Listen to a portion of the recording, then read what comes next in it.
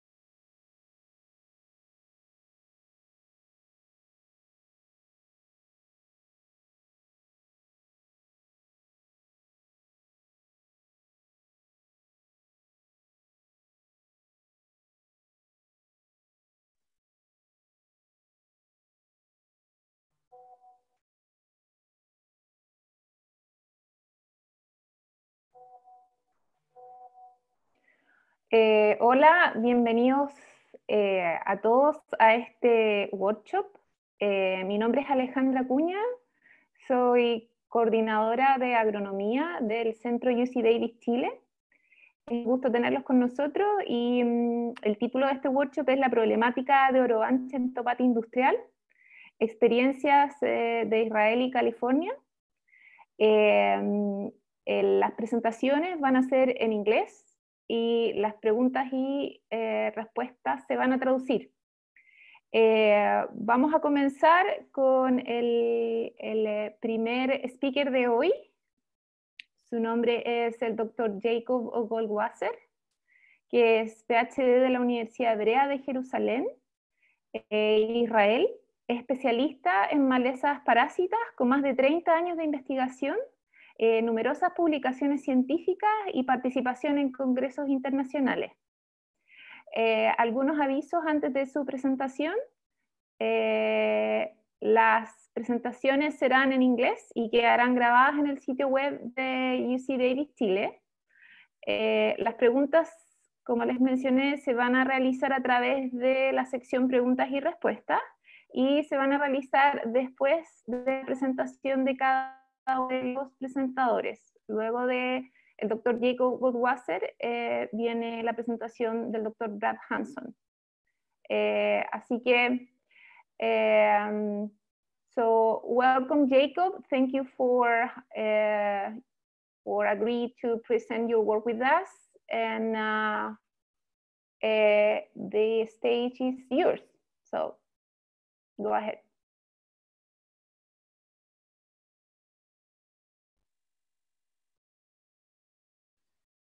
Thank you very much, Alejandro. And I will share my screen to start seeing the presentation. And I hope we are doing okay. Okay, everybody seeing? Alejandra? Yes, I can see, I can see your presentation, Jacob. Go ahead, Okay, thank and you. can- And the volume is okay? Yes, I can well? hear you perfect. Yes. Okay. So, hello, everybody. Uh, Good noon, good morning. For us, it's good evening. And my name is uh, Yaakov Goldwasser. I worked for many years in the uh, Hebrew University of Jerusalem uh, in the plant sciences. I still work there today, and I also work in a other institution, which is the Valley Growers, Valley Farmers Center, in Israel, which is in the north of Israel. Uh, I will talk today as part, and part of all of my colleagues who actually participated in this research, which are many, and mainly the people from the Agricultural Research Organization, uh, and especially Professor Hanan Eizenberg, which did a lot of the work that I'm going to present today. Uh, so with that, I will start.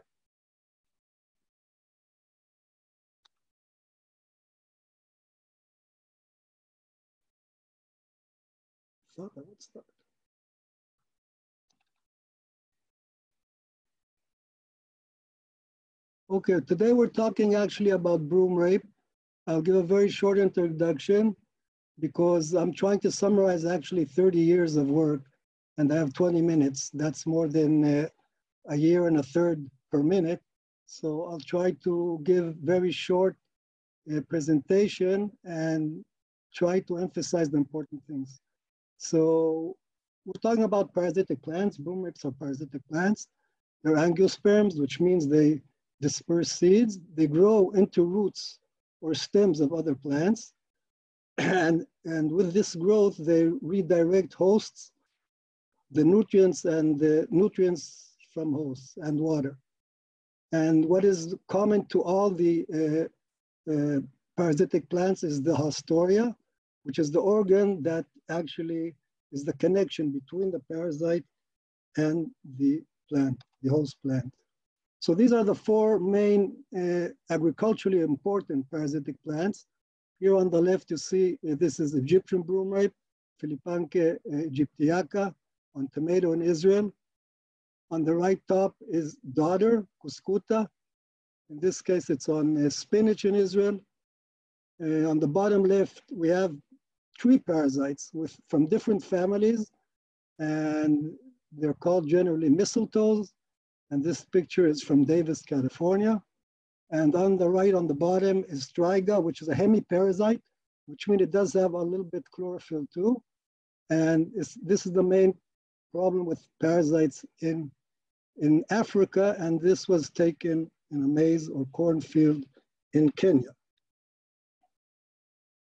Okay, this is one of the basic slides I want to show, and it shows the phases of invasive species invasion and control. And this is an important slide. First of all, today with, with the virus epidemic, uh, they are showing similar curves and talking about the exponential curves, etc. This is very similar with all species that are invasive. If it's plants, if it's animals, if it's birds. So on the y uh, axis, we see that the abundance going up and the control costs do too. Here on the uh, x, x uh, axis, we see that uh, as time passes, the infestation grows. At some place it's recognized, and then where uh, there's a big awareness of it, we're already on the top. And at this stage, it's very hard to control and contain and very costly.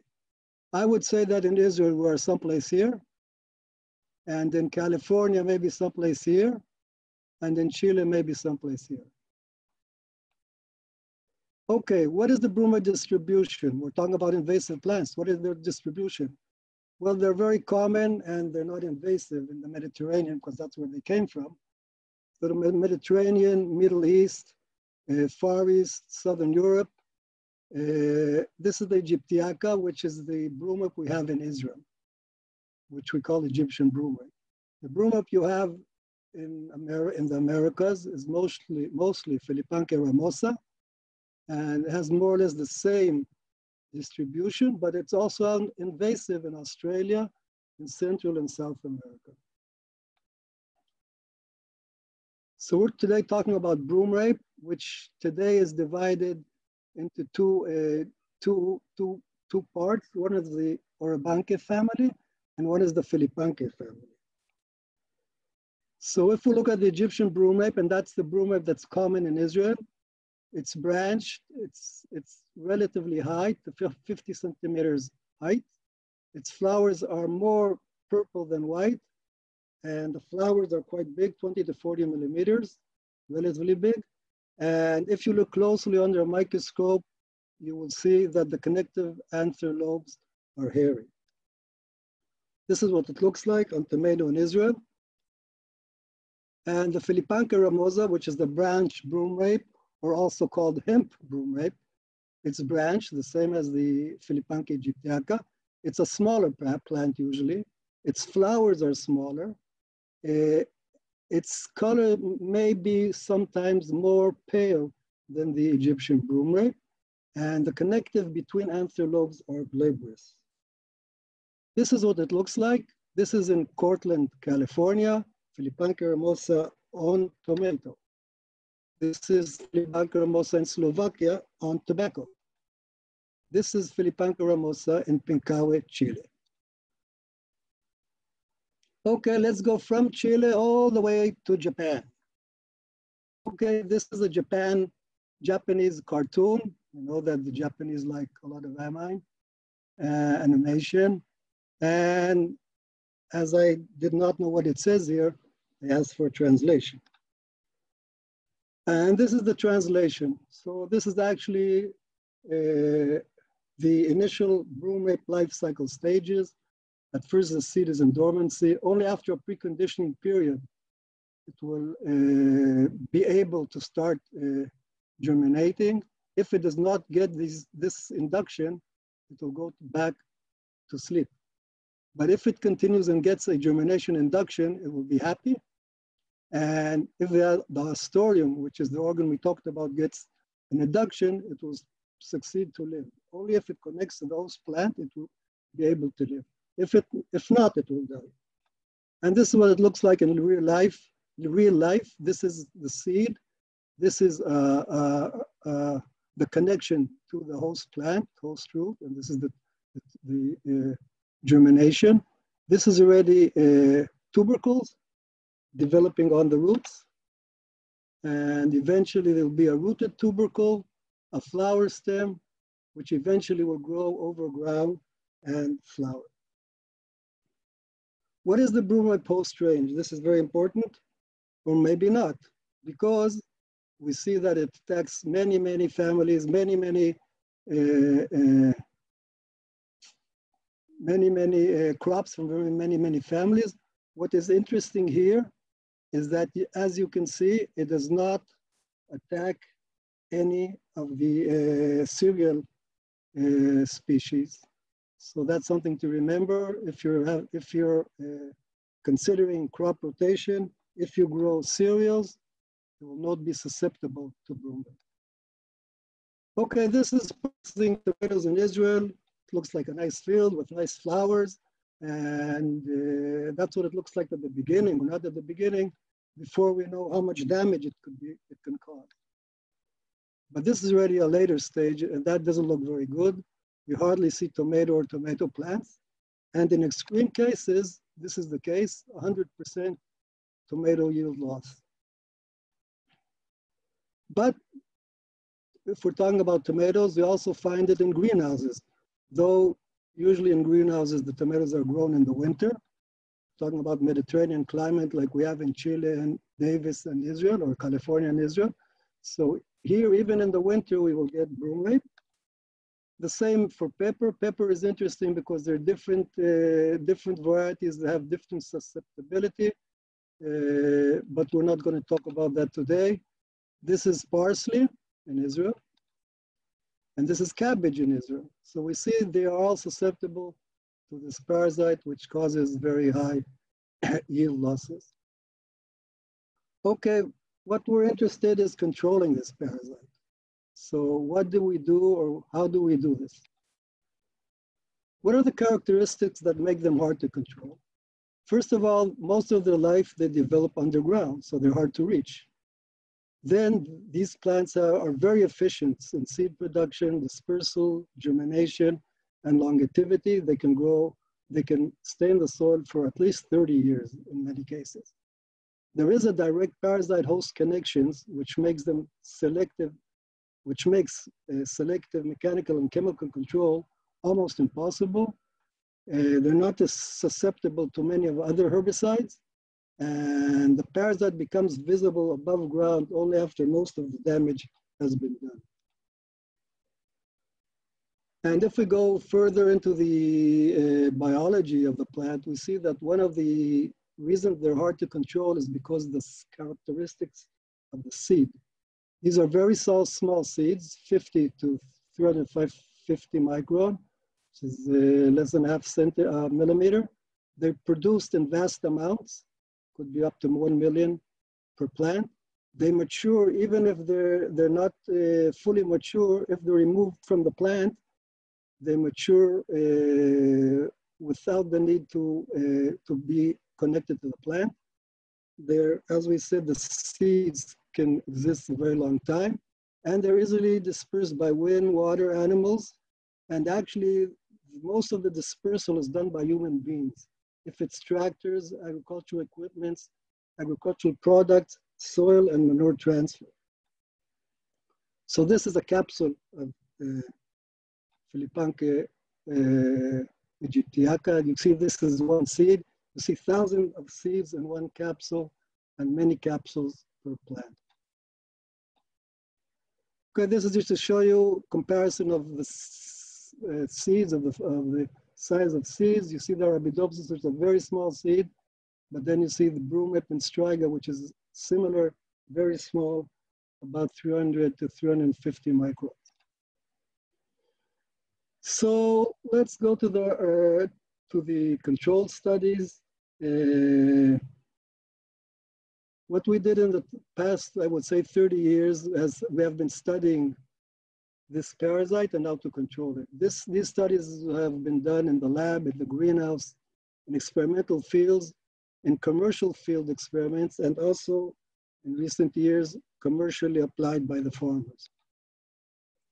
This is one of our systems to check how the uh, how the uh, broomrape seeds germinate and attach to host plants. It's called PEB, polyethylene bag uh, system, which is put in the dark on the glass fiber paper. And here you can see the broomrape seeds, and we follow the parasitism. And what we can see is that here is on the left, we treat it with imazapic. You see it killed the seeds and the tubercles. On the right is the control, where uh, they are developing normally. And a closer look at a later stage, you can see on the left a dead rooted tubercle, on the right alive. And of course, we do uh, greenhouse and nethouse experiments, which we plant tomatoes, and we also plant broomrape. So here we're counting the broomrape and weighing, weighing the fresh and dry weight after one of the experiments. we also have what we call a minirhizotron, which is a camera which can be placed under the soil, beneath the soil, and we can see the tomato roots and attachments uh, live in the soil or in pots. This is already an experiment station. In Israel, we have experiment, uh, agricultural experiment stations which belong to the Ministry of Agriculture. And we did a lot of our work in these stations. And here you can see a system uh, experiment that we conducted. Here we have the herbicide uh, in this bucket, and this is the electric pump, which pumps it into the drip irrigation system. And here you can see the pipes that uh, the uh, different treatments, according to the treatments, are connected and deliver the herbicide. We did the sampling of water and uh, tested it with LCM SMS, which we can uh, actually uh, follow parts per billions. And the same we did in the soil. And we're sampling in the soil in uh, different depths and different distances from the drip line. this is the commercial field experiment. This is a pre-plant incorporation of uh, sulfosulfuron. And this is done before, of course, the tomato planting. And this is not the Andes. This is the only mountain in Israel with snow in the winter. Okay, this is commercial field experiments. So even if we go into the whole field, we always leave some control plots to see what we did and how we did so we can have some kind of comparison. This is a, here we can see the uh, broom rape shoots emerging yellow and actually will die. And this is following imazapic applications by the drip irrigation system you see here. Okay, this is a, our of experiments in Israel between 2009 and 2016. You can see uh, this is all in northern Israel. This is the Lebanese border here. This is Haifa. And you can see all the, all the plots we use. Uh, over 50 plots in this, uh, in this seven year uh, period. So what are the results? We will see very uh, concentrated results. Uh, first thing, we developed a decision support system for broom control, which is based on the field history, the infestation severity, and mapping. And then we computed a thermal time, GDD, growing degree days, starting at tomato planting date. And then we applied prophylactic soil applied chemical treatments by PPI of sulfur sulfasulfur, like we saw with that tractor, or a foliar application followed by overhead irrigation. And then uh, we apply uh, later uh, imazapic on the through the drip irrigation and at the end also as a, a, a foliage treatment. So the two herbicides, we tested many, many herbicides. The two most important ones that we use is sulfosulfuron and imazapic. Both are ALS inhibiting herbicides from two different groups, of course. One is the sulfonylurea group, the sulfosulfuron, and the imazapic is from the imidazolinone group. And as you see here in Israel, it, both are registered in tomato, and both are systemic. Our decision support uh, system is uh, based on uh, infestation severity, as I said. So we're talking about less than one shoot of broomrape per meter, square meter is, is A, B is one to five, and C is over five. So I would say low, medium, and high infestation according to this. And the thermal time growing degree days is uh, what we call GDD, and actually it is the average daily temperature minus a T base that is different for each crop. And in the case of tomato, it is 10 degrees centigrade. This is part of the uh, decision system uh, according to what we the factors we, we talked about before. Uh, I won't go into this because this is quite complicated and not complicated, but uh, we don't have time to go into it. And this is only part of it. This is the second part of it. But uh, in cases where we don't know what the infestation is, we, all, we, all, we apply the herbicides uh, taking in account the worst case. So this is uh, this is uh, one of our uh, treatments. No, some of our treatments, recent treatments in the fields, and uh, actually also in Chile we followed the same, more or less the same uh, treatments. Where here we have on the left drips and sprinklers together. The sprinklers are for for the, the B treatments, incorporating the sulfosulfuron, uh, which is monitor, and uh, the cadre uh, treatments are actually all through drip irrigation.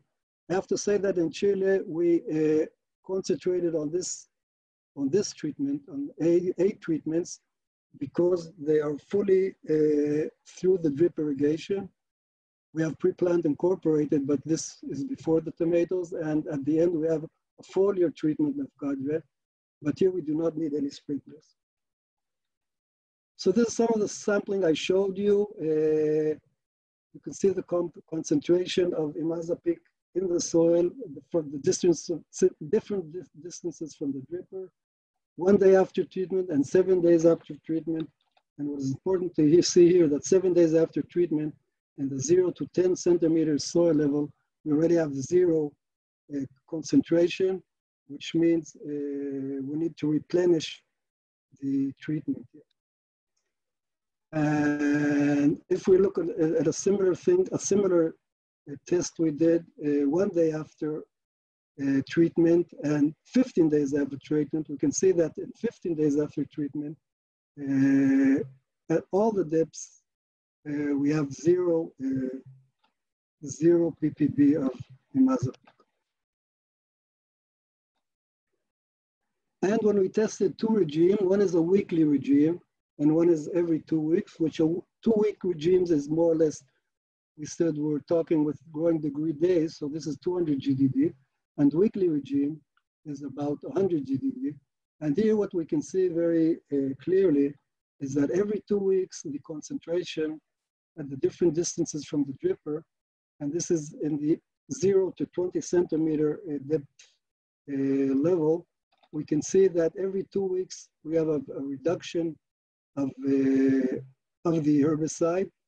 And in the weekly regime, we have uh, at least two to three times higher concentration, uh, which we can, uh, uh which stays in the soil. This is a graph of uh, the, these three treatments we just saw. And we see on the top, the control, these are the GDDs. And this is the end of the season here. This is the uh, 400 GDDs, a few, uh, a month after planting. And here we have the number of inflorescences, broom rape. So we can see that the control, we have very high infestation. And we're talking about, it's ex exactly what it looks like the invasive plants grass, graph, sorry. And the biweekly, which means every two weeks, we get a great reduction. But when we apply it every week, we get a very high uh, reduction.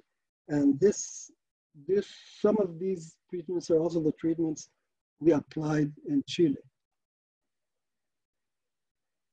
Okay, these are results from commercial fields from 2015. And you see the different varieties down here, but what I want you to show is the yields, because one of the consideration is that with these herbicides, we are actually also damaging the tomatoes. We're not controlling all the broomrape underground, but you can see that we have your yields of over 120 tons per hectare.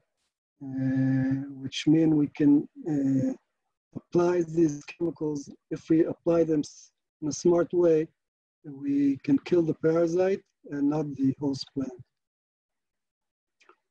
So this is a balance sheet. Of course, it's very rough, but the cost more or less of the additional cost with our system is rototilling, what we saw, uh, the herbicides themselves, uh, and uh, so the total cost is more, more, more or less $500, but our additional income is $5,000. If we take into account a field that's hit hardly, we will get at least 50 tons per hectare more with our treatments. And so you see the total income uh, in that case. Okay, I would like to conclude that the outcome of this research, this research enables farmers to grow tomatoes on broomrape infested fields and ensures increased yields and high profits.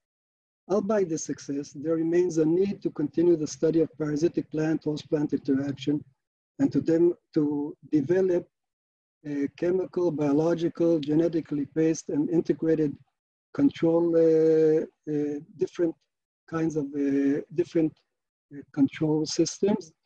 And this is uh, especially important because we know that the sulfonylurea or the ALS inhibiting herbicides that have been used, we have developed very rapidly resistance to them, though we did check this in Israel in recent years and did not find resistance.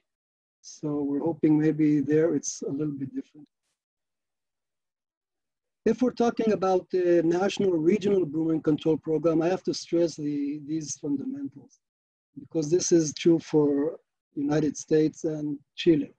First thing is awareness, then research and knowledge, mapping, sanitation and quarantine, control measures, and very important is good agricultural practices. This means that if you do everything great in the field and you apply the herbicide, etc., but the field is not irrigated as needed or not uh, fertilized, so all your efforts will not be uh, enough. So I'd like to show you, this is actually my uh, take-home message. Uh, and that's why I'm showing it again. And everybody who's dealing with this parasite in countries where it's invasive have to remember this slide to take, start taking uh, control measures and applying some of what I, I talked about in the early stages of parasitism. Ok, gracias por su atención.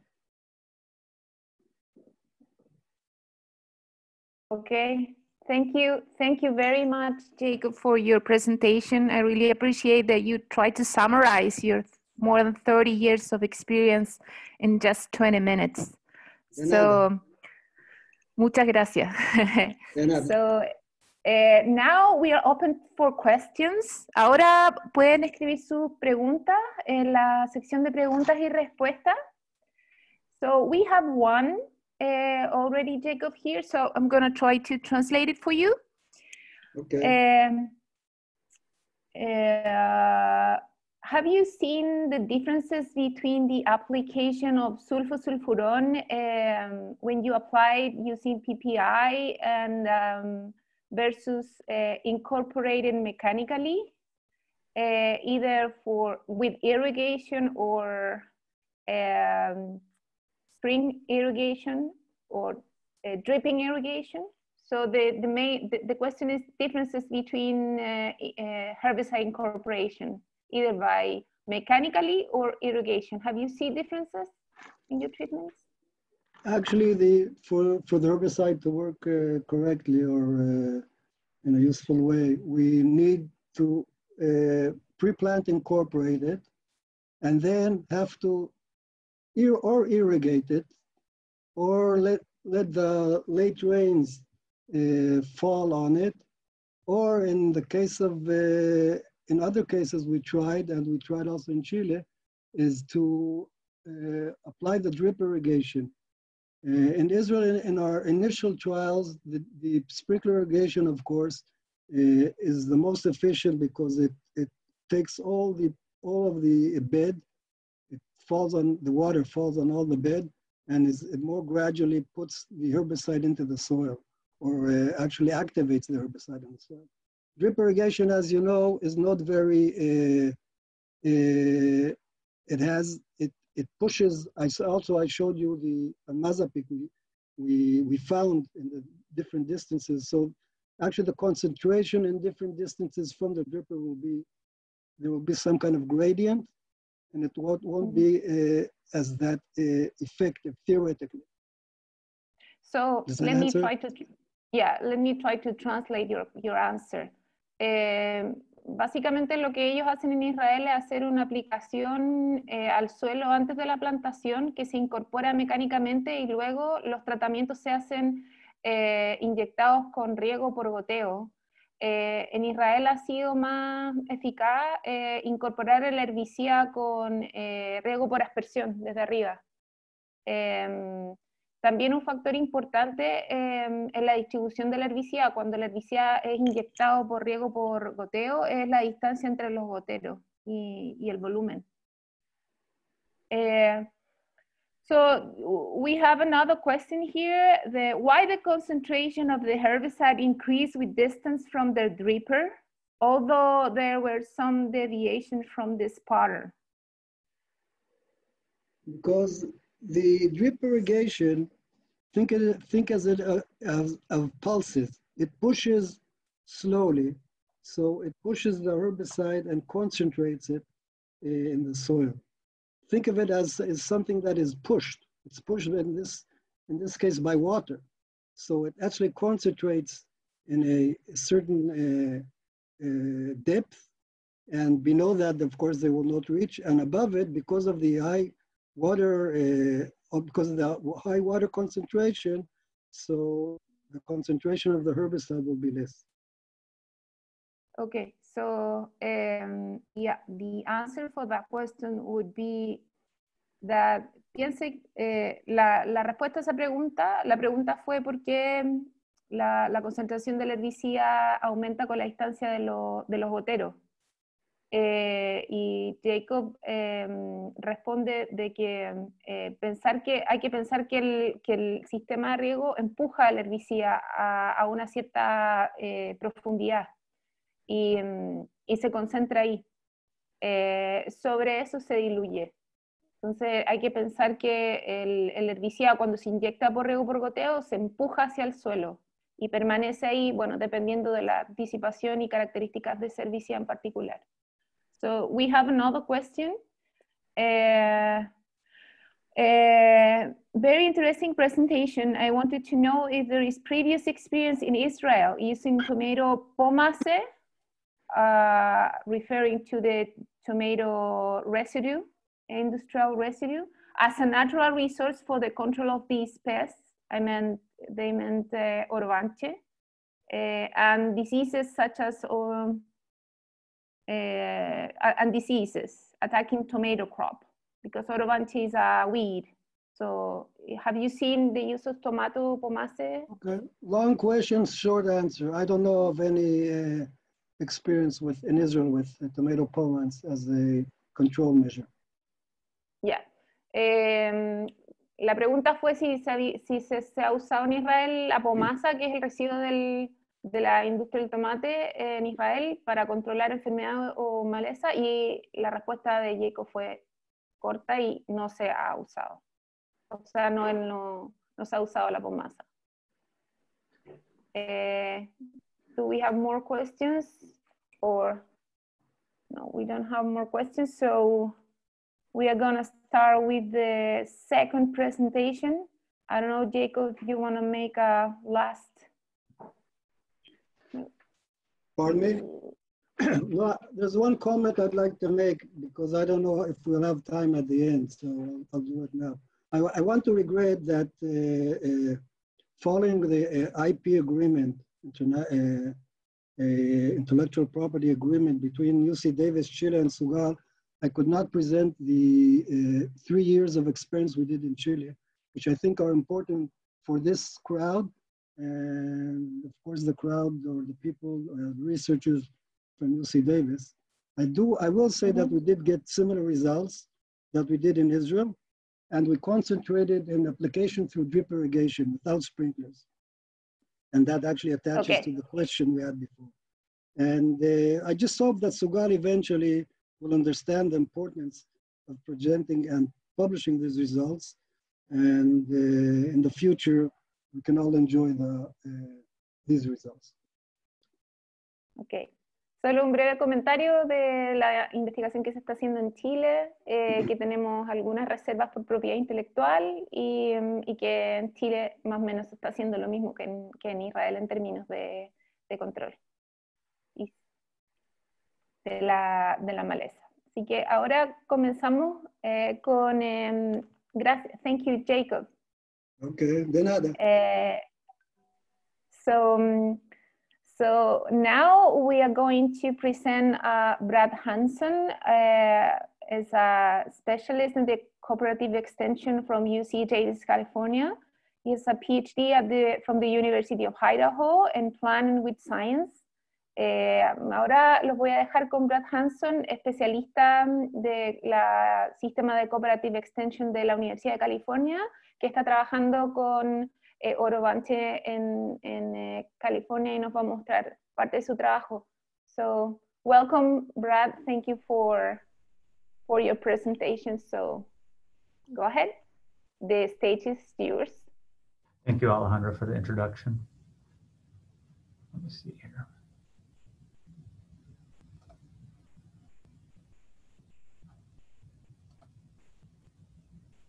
Do you see the full screen version, Alejandra? No, Brad. The other one? All right, one moment.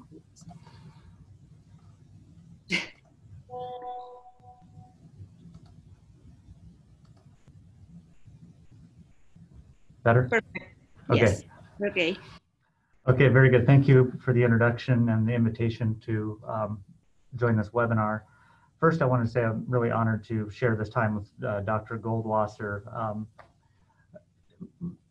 learning from his 30 years of experience um, has been been a, a, very beneficial to me um, and also to our, our research team in California. Um, I have about 28 years less experience in broom rape management, so I'd like to just give a little bit of an update on what we are working on um, on branch broom rape research in California processing tomatoes. Uh, before I go too far into this, I want to acknowledge the colleagues, most of whom are on the call. Uh, Dr. Professor Mohsen Mesgaran is a, a, professor at UC Davis. Gene Miyao is a emeritus farm advisor who's worked with the tomato industry in California for, for most of his career. Matthew Fatino is a graduate student at UC Davis working with uh, Professor Mesgaran and myself, and Wally Osipitan is a postdoc who also works at UC Davis. Uh, most of the work that I'm going to mention today has actually been done as part of Matthew and Wally's research here at UC Davis. So just a, a quick uh, primer on the California tomato industry. This is uh, a very important annual crop, a horticultural crop in the Central Valley of California. You can see by the blue dots on that, that map. Basically, this is an area, um, see, approximately 600 kilometers north to south. In 2019, um, we had about 95,000 hectares of tomato uh, producing a little over 10 million metric tons with a, a value of um, 835 million US dollars um, over just comparing last year's um, acreage to over the past 20 years, we're near the low point of a 20 year acreage. Um, we've been somewhere between 93,000 and 100, 133,000 hectares during that time. Yield has ranged in that time from just under 8 million to just over 13 million metric tons. And I would just point out here during that 20 year period, there's been about a 29% decrease in production uh, area planted concurrently with about a 28% yield increase. Um, but over that time period, the uh, value has ranged between about half a billion to just over 1.2 billion dollars U.S. So this is a very important crop um, sector in California. Uh, Yakov already talked about some of the, the differences among the species here. We have detected both um, uh, Ramosa, the branch broom rape in California, but and there's also been uh, just two detections that I'm aware of of Egyptian broom rape, Aegyptiaca. In California, these are um, listed as quarantine pests. Um, a listed in California means that it is a um, quarantine and crop destruct pest. Q listed means we don't quite know enough to list it as A listed, but it's a very uh, concerning species. Branch broom rape has been reported on and off for several decades, probably 40 years or so, um, but it, it, does seem to be an increasing concern in recent years. And in the past two or three years, there's been several fields that were uh, reported and quarantined and crop destroyed by um, state mandate. Uh, the two Egyptian broom rape uh, detections that I referred to uh, the first reports were just in 2014 in California of the of the species. Uh, Solano County is in Northern California near Davis, and both of these sites were fumigated. The crops were destroyed and fumigated uh, to eradicate the seed from the field. Yakov already talked about this, so I won't belabor it. I, I agree with his his uh, suggestion that where Israel is probably at the um, top part of this curve, Chile is somewhere partially up this curve, and I think here in California, we're somewhere at the end of the lag phase, or my concern is that we're at the beginning of the exponential growth phase, and so I just uh, concur with with uh, Professor Goldwasser's assessment. So just a little bit of an update of what we're doing in California, very much building on the work of uh, Goldwasser and Eizenberg and the Israelis who have been doing this work for 25 or 30 years. So I'll, I'll just make a few comments about each of these research areas. Um, the primary one that, that my group is involved in is the herbicide approaches. So basically what we're doing with that work is evaluating the picket, excuse me, the picket system and trying to uh, test and evaluate this under California production systems. In particular, we're working on the, the support research to facilitate registration of sulfosulfuron and imazapic in California. Because of the differences in uh, species, branch broom rape versus Egyptian broom rape in Israel, we are um, assuming we'll have to do some um, fine tuning of the uh, growing degree thermal time modeling to uh, make sure that we're using appropriate application timing for our species in the California environment. Uh, we are evaluating some of the soil disinfestation approaches, primarily um, looking at fumigation, but also some non-fumigant alternatives such as biosolarization and anaerobic soil disinfestation. I'll come back to that in a moment. Uh, as Dr. Goldwasser mentioned, um, the seed, the concern about such a tiny seed and uh, invasive species is the potential spread on equipment and, and you know, human human facilitated uh, movement of the seed, but particularly harvest and transplanting equipment. And then lastly, um, one aspect of the program that I, I, won't talk very much about is the detection and identification, particularly things like um, sensor technologies and um, remote sensing to speed the um, identification of new infestations. So I'll talk just a moment about the, our, our um, delving into the Picket system. And this is uh, Matt Fatino is the graduate student I mentioned who is doing this, this work. Our big challenge is here. So the Picket system, as Professor Goldwasser mentioned, is based on sulfosulfuron and imazapic. Sulfosulfuron is registered in California as a wheat herbicide, but is not currently registered for tomato. Imazapic is not registered in California at all. It is registered in the United States as Cadre, which is a peanut herbicide, and also as Plateau, which is a rangeland herbicide, but neither of those products are registered in California. And we have a, a much higher bar for uh, registration of pesticides in the state, so that is not a, a trivial matter to support registration, a lot of what we've worked on over the last two years. So we, we did our first, Matt did his, um, our first trials in 2019 and in 2020. So one aspect of this is the crop safety data. Uh, to register these products for use in tomato, we need to have, show that we've got adequate crop, safe, crop safety. Matt had a total of five field trials, um, primarily focused on crop safety during this period.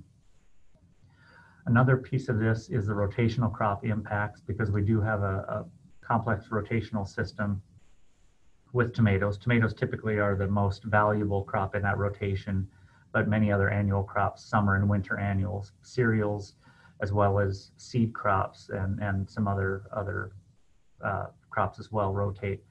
So in 2019, one of Matt's trials was designed um, as a tomato crop in 2019 and planted back to a, a series of important rotational crops during 2020.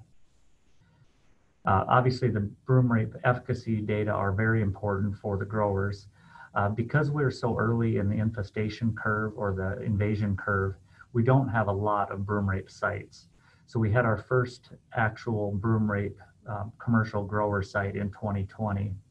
And I believe that trial was actually terminated this morning. So we're just at tomato harvest time here in California. So we, we these I'll present a few data from that trial, but it'll be very, very preliminary. And then lastly, um, I think we're looking at uh, foreseeing some difficulties in registering imazapic in the state. So we may we are also evaluating some of the other imidazolinone herbicides um, that are you know in that same chemistry, but may have slightly less uh, regulatory, lower regulatory bars to get over. So I mentioned uh, briefly uh, the grower trials. I just got a, a, couple of shots here showing the um, rather crude chemical injection equipment um, on the left, injecting the imazapic treatments into a, a, a, distribution system in the field so we can do replicated plot work. On the right, this photo I think Matt took yesterday, um, you can see we have fairly dense inf infestations. They, they don't stack up to the level of infestations in Israel, but this is obviously a, a huge infestation for us in California where this is a quarantine pest. Uh, just to orient you here, the towards the back of that field is not in the plot area and was was terminated a few weeks before this photo was taken. In the foreground where it's still green, this was part of Matt's uh, field trial. The different colors of flags here were, uh, we did two or three times a week scouting in that site and the flag colors correspond to different weeks over about the last two and a half months. This field was about one and a half hectares, and I think we found somewhere between two and 3,000 individual plants were flagged out there, uh, clumps of uh, broom rape rather. I'll just make a, a, couple of comments here about the level of variability. Um, on the left side of this figure is a heat map, and this isn't, the, the numbers aren't super important, but the, the numbers correspond to number of broom rape clusters per 30 meters of row. And on the right side is the treatment numbers. And as I look at the, the heat map on the left, you can see definitely higher and lower areas of broom rape infestation in that field. And I would just point out, um, I'll just draw, pick out one treatment here. Treatment number nine was um, what should have been probably the most effective treatment out there, 70 grams of sulfosulfuron and 9.6 grams of imazapic applied five times through the drip. This was our assumed 2x treatment, so it should have been quite eff efficacious. And you can see in, in some parts of the field, we had very, you know, great reductions in broom rape uh, clusters, while in other parts of the field, not so much. So these, these data, because of the spatial variability, are going to be a little bit of a challenge. But just show you some very preliminary data, and I won't belabor the treatments here other than to show this, um, these data show broom rape, cumulative broom rape counts over, over a 10 week period in that commercial tomato field. Um, you can see at least a few of these lines, uh, the green line, the orange line, and the blue line are considerably higher than the others. This was the untreated uh, rimsulfuron and a, a grower standard treatment. So those certainly had more broom rape, although quite variable, as you can see, the blue versus the green and orange. The rest of these treatments on the lower part of that figure were the different picket treatments or the different uh, imidazolinone um, alternatives. So because these are so preliminary, I, I, really don't want to get into this too much, but I, I, did group a few of these herbicides to, to try to help me help us make some sense of this when I was putting this presentation together. The, the blue line in this figure is the non-picket treatments. So it was it was the non-treateds, the trifluralin treatments, the rimsulfuron treatments. And again, you can see that curve that mirrors what Yakov showed earlier with the uh, progression over time. In the middle of this range, the picket treatments, this includes all of the sulfosulfuron and imazapic treatments, whether they were 1x or 2x, uh, the intense treatments or the, the less intense treatments, did a very good job in aggregate of reducing broom rape emergence. The sort of yellow orange line on the bottom, this was the foliar imazapic treatments that were put on in about week three and week five of that program. And so I think we, we definitely have some opportunities to use these approaches to reduce broom rape. Uh, certainly not enough to, um, in, a, in a quarantine situation where, um, you know, crop destruction and sequestration is important.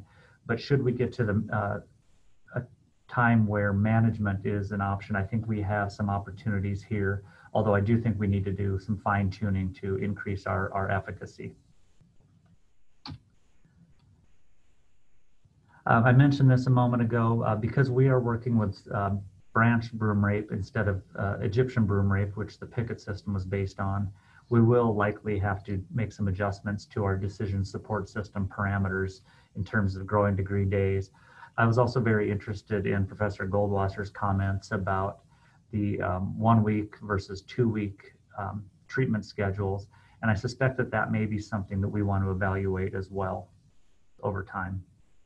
We are very early in this research process. Oh, I should just also, as I, as I mentioned, we're, we're doing some similar work with rhizotrons and trying to make sure we can understand branch broom rape in the California environment to inform both our, our field research um, as well as the, the more basic research. And uh, Wally Osipitan is leading on this, the postdoc that I mentioned. So just a few photos of Wally's work in the rhizotrons look very similar to what Professor Goldwasser showed a few moments ago. So I don't, I don't actually have any data uh, regarding this, but I just want to make the point that, that we're making our, our um, fine tuning for our system here in California. A third piece of this is disinfestation of equipment. Uh, because we use commercial transplant services as well as commercial harvest equipment, there's great concern that we're, we're moving seed and plant debris from field to field.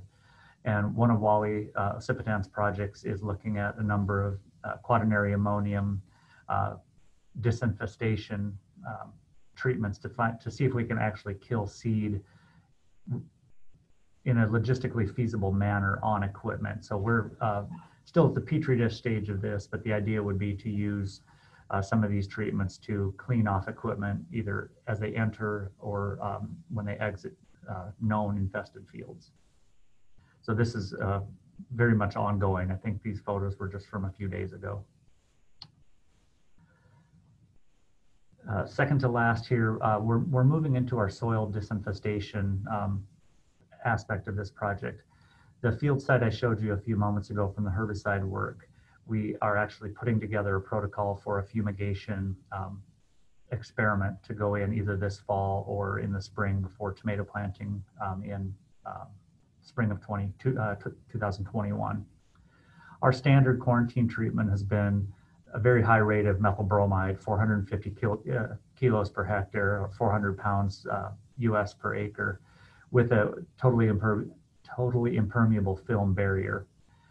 Methyl bromide has a huge regulatory challenge, as, as certainly the Israelis are aware, and, and um, all around the world, this has been a challenge because of a phase out related to uh, ozone, uh, stratospheric ozone depletion. It also is very expensive, around a $10,000 $10, per hectare treatment with the fumigant application and plastic film. We will be testing a number of fumigant alternatives as well as some non-fumigant alternatives in that grower site um, this fall or in the spring. That protocol is still under development at, at this point, but um, we should have some good locally focused fumigate, fumigation research to inform our management uh, going forward. Lastly, I'll just touch on the uh, detection and identification. So Professor Mesgaran and some of our other collaborators are working on this in the quarantine facility. And we did take the field um, field site that I showed earlier to, to do sort of a field scale validation because we'd identified thousands of, of plants in a, in a commercial tomato field. So a number of sensor technologies, you know, can we use NDVI, uh, different bandwidths to detect this very uh, small statured weed in a commercial field before, you know, while we can still do something about it. So again, we're, we're fairly early in, in the, this aspect of the research as well. So I would say some of our challenges, uh, well, let me start with an opportunity. Um, you know, we're very much building on 30 years of work that's been done with this, uh, with this genus at least in Israel and other places. So we, we don't have to reinvent the wheel but we are very early in the problem and in the research process in California. Uh, because this is a quarantine pest, we had some regulatory challenges just in moving soil and seed around out of the from an infested field. We also had very little seed to start with, so um, so that limited some of our greenhouse research, um, at least at the outset. And because we have relatively few infested locations, our field efficacy research has thus far been only that one site um, in 2020. A, a, huge challenge with this is because because it's a quarantine pest in California, I think we have some difficulties in getting reports from the farmers because of the potentially severe economic impacts if they have to destroy that crop. So there's a little bit of a, a perverse lack of incentive to report that crop and which is hampering our research efforts. I mentioned also the cost and regulatory burden of the fumigation.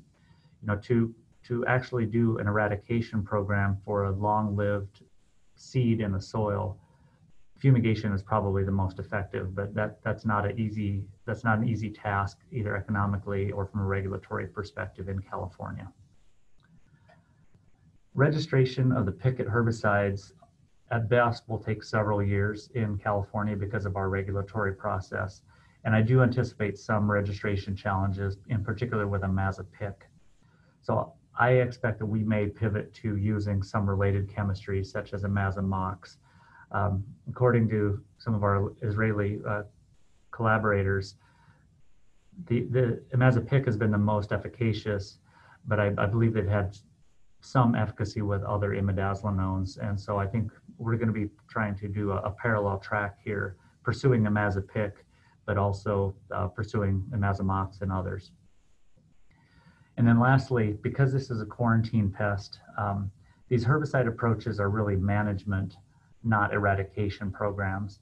So the herbicides will be very useful if they get registered and if this um, infestation gets further up that in, infestation curve that, that we showed earlier. But that, that's not going to really work if we're still having to quarantine those fields. So we've got some regulatory challenges as well related to this uh, early stage problem in California. So as I wrap up, I'd just like to say, um, compared to Israel and Chile, we are very much at the early stage of branch broom rape infestation.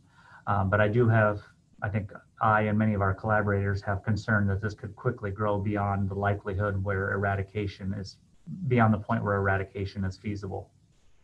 Our area affected and our density of the weed is not high yet, uh, but the economic harm is very high due to the crop destruction because of the quarantine rules.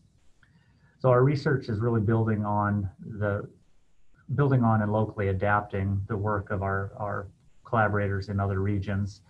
Um, initially, well, we're working on the soil fumigation um, and soil disinfestation aspects of this, equipment sanitation to minimize the spread, detection, and I should also say education of the growers um, is really important as uh, because of where we are in, in the uh, disease curve, so to speak. And then lastly, we are spending quite a bit of effort to develop the herbicide tools, uh, sulfosulfuron and imidazolinone herbicides, if this becomes a management uh, expectation. So I'll just close by acknowledging the, the collaborators on this, the California Tomato Research Institute, uh, UC Cooperative Extension, a number of UC Davis researchers, um, uh, Hanan Eizenberg and, and uh, Professor Goldwasser have been very important in advising us as we go forward. And then an array of funding from the tomato industry, uh, the USDA, um, California Department of Food and Agriculture, um, various grant and, and uh, eradication programs. So I will stop there and uh, I, I just want to again thank Professor Goldwasser for the work that his collaborators and he have done over the last uh, several decades, as well as for advising on our projects. And I will open it up for questions. Thank you.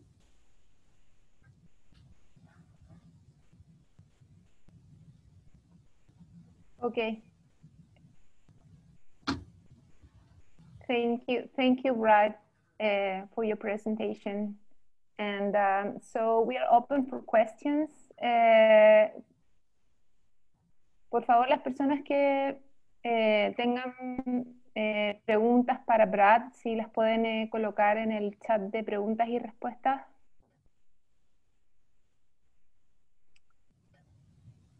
So I, uh, I, I, do have a question for you, Brad. You mentioned uh, other imidazolinones herbicides. Have you tried the one that you mentioned, Imazamox, or yes, in experiments? We, yes, we've had. Um, I mentioned five field trials. I think two or three of those had imazamox, imazapyr, and imazethapyr. Uh, we were focused on the treatment at that time that was equivalent to the 2x rate of imazapic. So we've, we've had moderate efficacy with, that, with that imazamox treatment in the grower site. So we, we've had some experience, yes. Okay. La pregunta fue si tenían experiencia con otra amidazolinona eh, y sí, efectivamente eh, han hecho ensayos con imazamox. Uh, could, could I, I would also Yep. add, uh, imazamox has a, a little bit better fit for our rotation as well. Imazamox is a shorter lived herbicide and would probably be a Ah, bit yeah. more beneficial for our rotational crop scheme if we can make it work for broom Yeah. Yeah, that's a good point. Eh, lo, que adiciona sobre Imazamox como ingrediente activo es que tiene una vida media en el suelo menor, entonces hace que la rotación o el carry-over del producto sea más, más seguro en, en términos del el, el cultivo que le sigue en la rotación. Em, so, I don't know. I don't. I don't have more questions in the chat. I don't know. Uh, so let me check. Let me double check. Uh, Well, Alejandro. uh, I- yeah, yeah, we do. Oh. We do have. Um, oh, I do have um, a, a, a question regarding the uh, sanitizing equipment. So, have you seen any differences between the uh, products that you tested for sanitizing equipment? The short answer is I, I don't know. We the, the growers are using quaternary ammonia compounds, and in our in our uh, laboratory work, we've looked at a number of the compounds, um, but we're too early. I don't have any answers to the any results from those data yet. So the, the growers are using quaternary ammonia, but I think they just they just assume that it works. We don't actually know that it works in the way that they're using it. La pregunta fue si mm, eh, habían observado en California diferencia entre los productos que ocupan para desi- desinfectar em, los equipos que van a trabajar al campo cosechar o preparar el suelo. Eh, Brad dice que no, ha- no- no conoce los resultados de diferencia, no ha visto diferencia, pero sí les puedo decir que los agricultores en California están usando amonio cuaternario para desinfectar sus equipos, Eh, pero no sabe si hay un efecto real o estadístico de eso. And so, um, uh, there is a question uh, regarding the um, uh, residues of herbicide on the tomato pa- paste. So, is there any information or data regarding the residues of the herbicide used in tomato production on the tomato paste, Brad? Yes, uh, well, we're developing those data.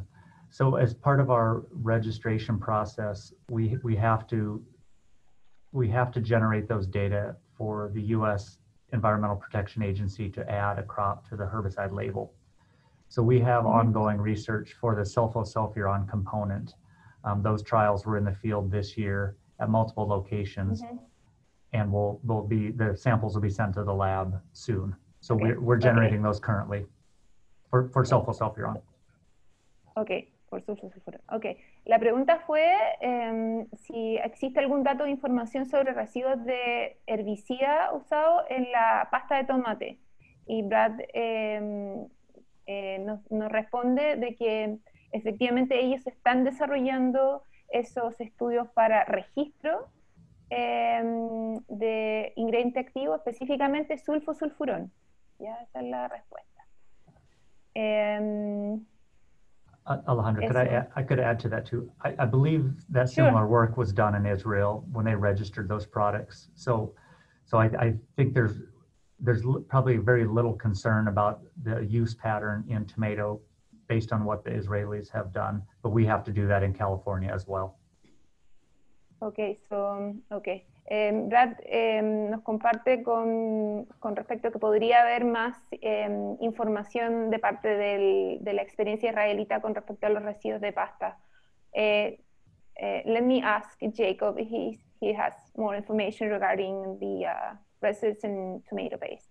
So Jacob, do you have anything additional to add to the uh, any data or studies that they are you, you doing in Israel regarding the um, uh, residence of any kind of herbicide in the tomato paste?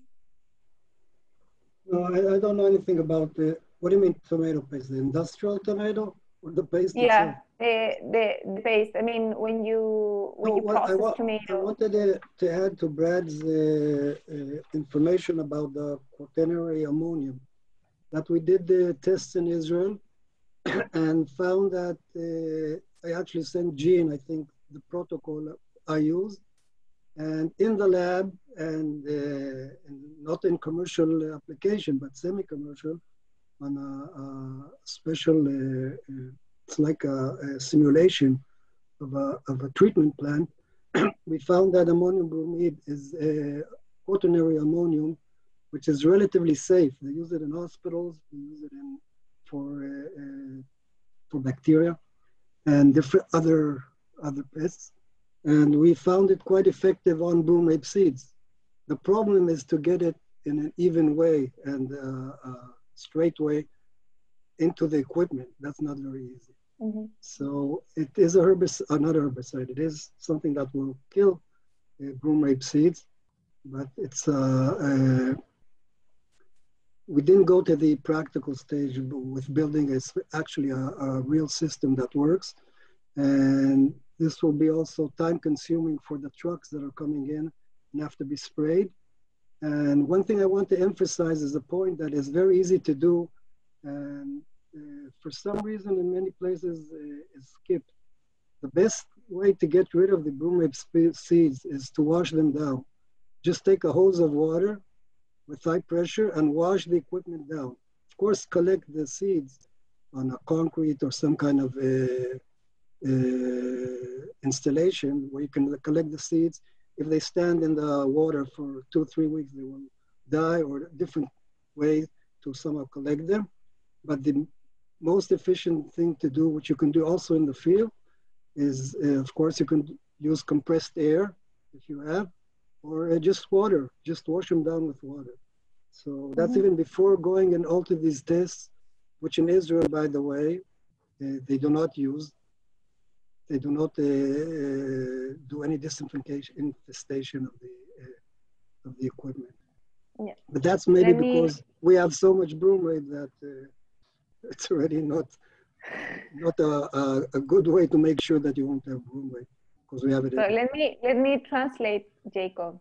Okay. Um, so, eh, according to the last, eh, de acuerdo a la última información que, que presentó Jacob, eh, la forma más, mm, más segura es lavar los equipos con agua, con agua pura, lavar los equipos em, y, y tratar de colectar esa semilla en una superficie sólida, concreto o algo. Eso es como lo, lo más simple de hacer.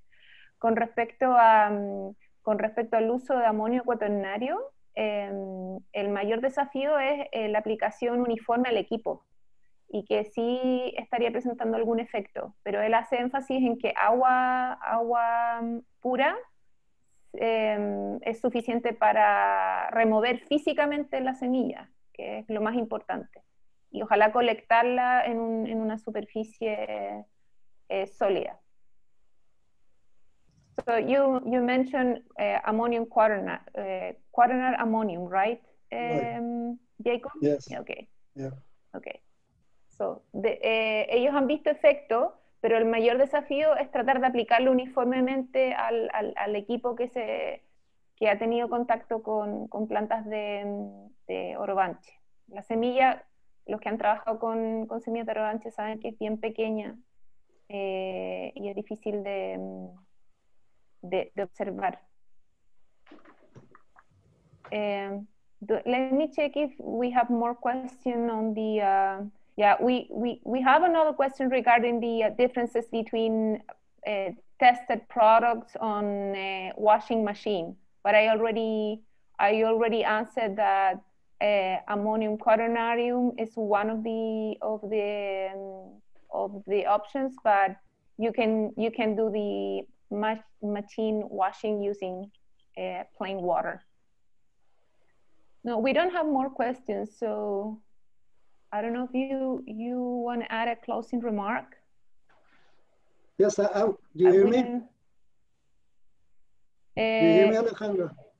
yes, I can. I can hear you. I, I have one uh, remark, uh, not remark, but actually a suggestion.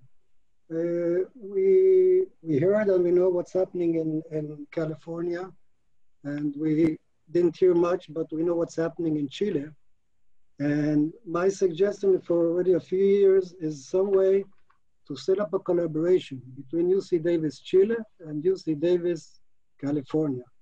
That's the most natural thing that could be. You even have almost the same name, and you have the same same email addresses too, by the way. So uh, what I suggest is somehow to have a cooperation between these two organizations. And I know that's one of the missions of UC Davis Chile, and this could be also together with student exchange. There have been many Chilean Chilean students in UC Davis, I know. So it would be very, I think, uh, appropriate to have one or two students exchange from Chile to Davis to work on these uh, exactly what we're talking about, uh, all these experiments, because I think uh, the situation in Chile or the the uh, the experimental uh, the what we call the the DSS, the decision support system, and the GDD, etc is very, very similar. I don't think I know. It's very, very similar in California and, and in Chile. And I think a lot of the information you already have in Chile is some of the questions that Brad asked. So if Chile can give UC Davis the information and work together with them, that would, be, I think, bring you uh, one step at least uh, further to solving the problem. Okay, thank you, thank you, Jacob. Solo Jacob nos invita a colaborar más entre eh, UC Davis California y UC Davis Chile, que es lo que estamos haciendo ahora con, con este seminario, y em, enfocarnos en el Decision Support System y en, eh, en el sistema de 10 grados.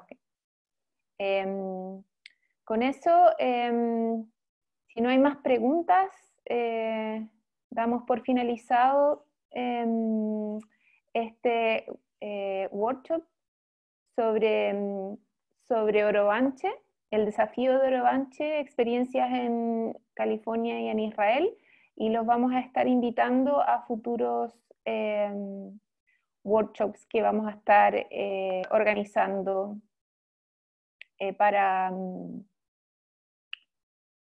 para la industria. Gracias.